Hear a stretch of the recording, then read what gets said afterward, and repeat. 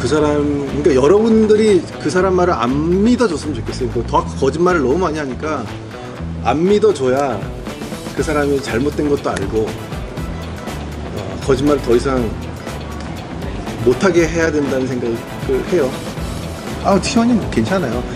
어, 괜찮고 그냥 스트레스랑 그 우유증 뭐 이런 것 때문에 조금 정신적인 스트레스가 많을 뿐이지 몸은 괜찮아요.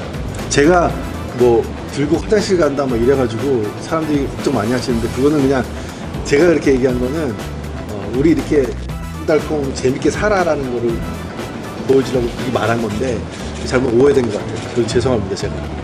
아, 뽀뽀는 매일 하죠 매일. 매일 스트레스는 뭐 어디서 오는지 아실 것 같은데 얘기 안 할게요 지금. 뭐 같이 뭐.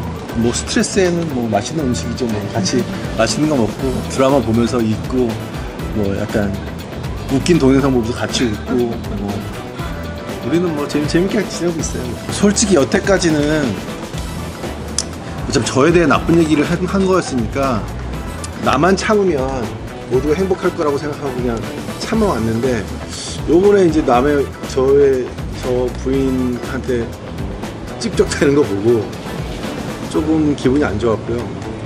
그리고 그 사람, 그러니까 여러분들이 그 사람 말을 안 믿어줬으면 좋겠어요. 뭐더 거짓말을 너무 많이 하니까 안 믿어줘야 그 사람이 잘못된 것도 알고 어, 거짓말을 더 이상 못하게 해야 된다는 생각을 해요.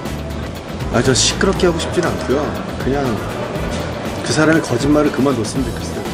그리고 여러분들이 안 들어줘야 되는데 자꾸 들어주니까 거짓말을 자꾸 만드는 것 같아요. 그러니까 저에 대해서 흠집은 내고 싶은데 없으니까 자꾸 거짓말을 만드는데 저는 그거 여러분들이 안 믿어줘야 그만둘 것 같아요. 不想要用作画来控制或反击那个人。 뭐 그럴 수도 있죠.